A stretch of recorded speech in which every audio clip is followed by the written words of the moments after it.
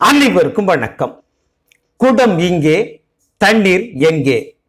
ஐயா ஸ்டாலின் அவர்களே உங்கள் டாஸ்மாக் பினாமிகள் கிட்ட கேளுங்க. சாராய ஆலைகளுக்கு எப்படி தண்ணீர் கிடைக்கிறதென்று.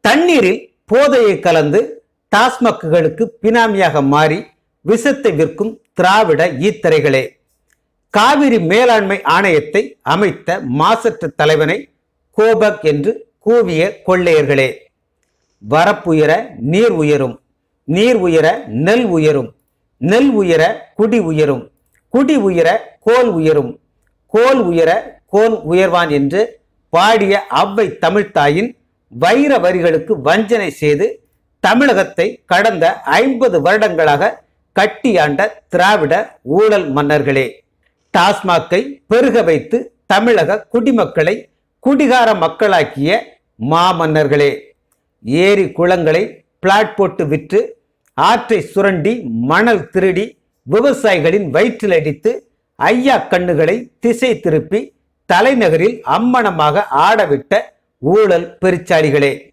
தமிழ்நாட்டு மக்கள் நாங்கள் உங்களை பார்த்து கேட்கிறோம். ஏரி குளம் குட்டைகள் எங்கே? ஆற்று மணல் திருட்டை செய்த துரோகிகள் யார்?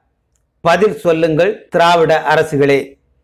தூர் வாருகிறோம் என்று பினாமிகளை வைத்து லாரி லாரியாக மணலை கொள்ளையடித்து குபேரர்களான திராவிட ஈத்திரைகளே ஆறு குளம் எங்கே?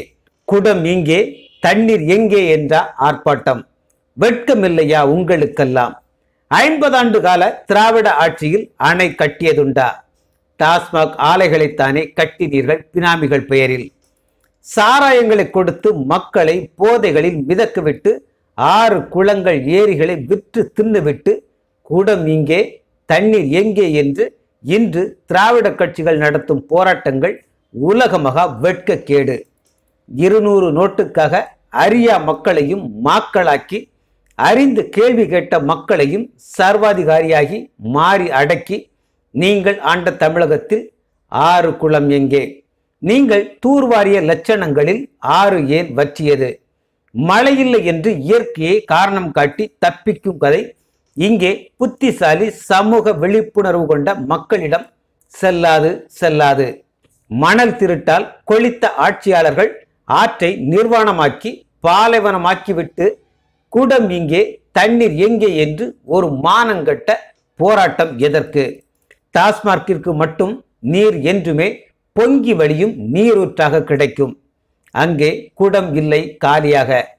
பாட்டில்கள் நிரம்பி வழியும் ஜாலியாக. நீரின்றி அமையாத உலகு. கிடைத்த மழை நீரையும் கடலில் கலக்க விட்டது திராவிட அரசுகள். முறையான நீர் சேமிப்பு பராமரிப்புகளின்றி புது அணைகள் ஏதுமின்றி.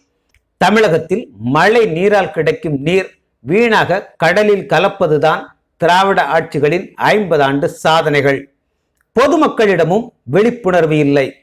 இப்படிப்பட்டவர்களை மீண்டும் மீண்டும் நோட்டிற்காகவும் இலவசங்களுக்காகவும் ஆட்சியில் அமர்த்தினால் குடம் இங்கே நீர் எங்கே என்று அடிக்கடி கேவலமான போராட்டங்கள் கண்துடைப்பு நாடகங்களாக அரங்கேறும். நோட்டை வாங்கிக் கொள்ளுங்கள் அது உங்களின் வரிப்பணம். ஊழலில் கொளிக்கும் பணம். ஓட்டிற்கு லஞ்சமாக உங்களுக்கு தரப்படுகிறது.